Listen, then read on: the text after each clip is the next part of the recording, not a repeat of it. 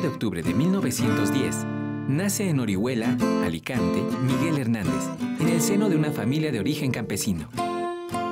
A los nueve años, Miguel Hernández inició su formación escolar. En plena guerra, logró escapar brevemente a Orihuela para casarse con Josefina Manresa. Fue en 1938 cuando falleció su primer hijo, cuya muerte impregnaría de un tono melancólico a muchos de sus futuros poemas. Pastoril, Miguel Hernández.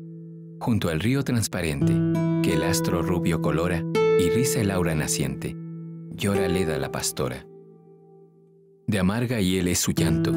¿Qué llora la pastorcilla?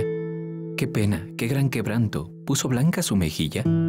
Su pastor la ha abandonado, a la ciudad se marchó y solita la dejó a la vera del ganado.